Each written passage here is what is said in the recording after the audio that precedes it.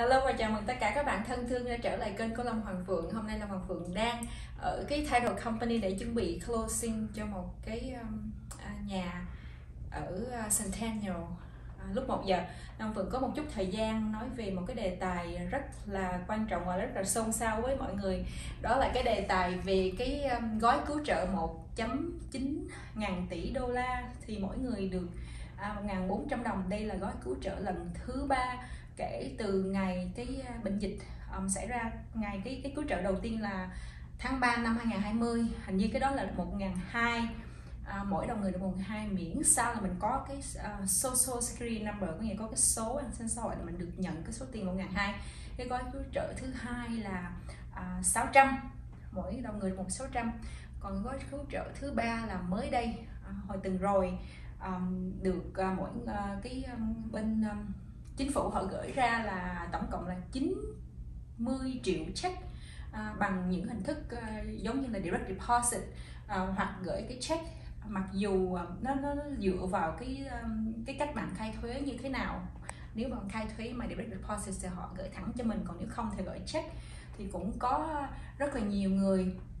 không có nhận được đợt 2 hoặc đợt 3 vẫn chưa nhận được. Thì từ từ nó sẽ tới nhưng mà à, cái bên sở à, bên um,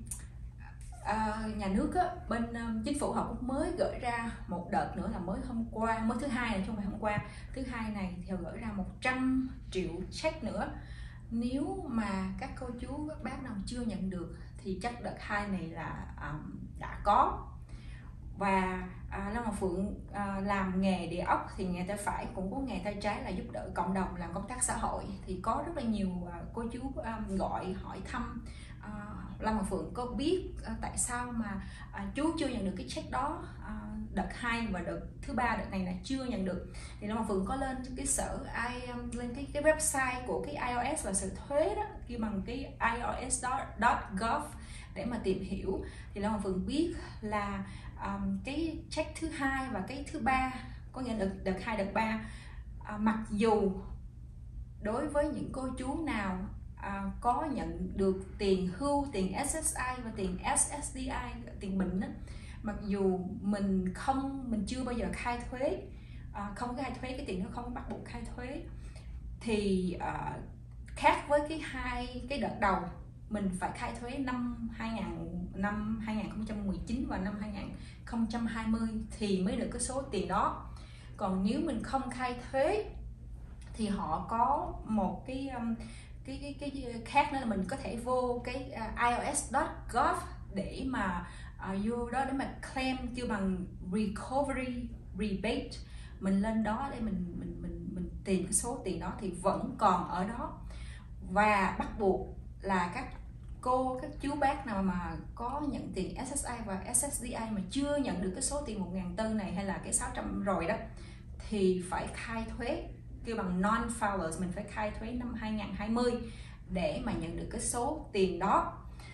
nếu mà cái năm 2020 này nè thì um, bên sở thuế họ đã gia hạn cho cái thuế cái ngày cuối cùng để mà khai thuế là 17 tây tháng 5 thì quý ông bà cô bác có thời gian để mà vào để mà khai thuế để nhận cái số tiền mà mình chưa nhận được năm um, cái 600 và cái 1 ngàn tư này. À, quý ông bà cô bác nên um, à, tìm hiểu và hỏi ờ, có thể là gia đình à, mình con cháu mình giúp mình khai thuế hoặc đi tới những người mà khai thuế họ giúp mình khai thuế để mình nhận cái số tiền đó. Và à, nó sẽ cái số tiền đó sẽ apply vào cái cái thuế của 2020 thì năm 2021 có nghĩa là năm 2022 mới là nhận được thì năm nay là 21 khai cho năm 20 năm 2022 cho khai cho năm 2021